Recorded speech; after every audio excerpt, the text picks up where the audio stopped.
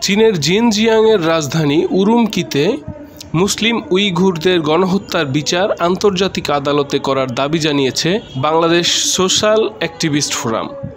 মঙ্গলবার জাতীয় প্রেসক্লাবের জহুর হোসেন মিলনায়তনে চীনের উরুমকিতে উইঘুর মুসলিম গণহত্যা দিবস উপলক্ষে শান্তিময় বিশ্ব গড়তে মানবতা, রুখবে সন্ত্রাস, জঙ্গিবাদ, গণহত্যা ও সাম্প্রদায়িকতা শীর্ষক আলোচনা সভায় এ দাবি জানান বক্তারা। প্রধান অতিথির বক্তব্যে ডক্টর আল্লামা আতাউর রহমান মিয়াজি বলেন, দুই হাজার নয় সালের পাঁচ জুলাই সারা বিশ্বে উইগুর মুসলমানদের উরুমকি দাঙ্গা গণহত্যার বার্ষিকী পালন করছে। চীন সরকার আনুমানিক দেড় মিলিয়ন লোককে আটক করে সংশোধনের নামে নির্যাতন নিপীড়ন করছে।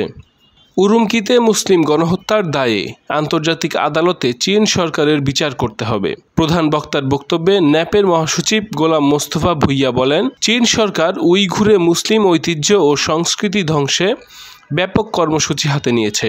মুসলিমদের পবিত্র হজকে পুরোপুরি নিরুৎসাহিত করা হচ্ছে। এমনকি মসজিদে মুসলমানদের জুমার নামাজ আদায়ে নিয়মিত বাধা প্রদান করা হচ্ছে। সভাপতির বক্তব্যে মুফতি মাসুম বিল্লা নাফি বলেন, যেখানে সংখ্যাগুরু রয়েছে, তারা সংখ্যালঘুকে হামলা করে অত্যাচার চালাচ্ছে। ফিলিস্তিনের পরে চীনের মুসলমানরা সবচেয়ে বেশি নির্যাতিত। তাদের মধ্যে উপযুক্ত নেতৃত্ব নেই বলেই এই অবস্থা।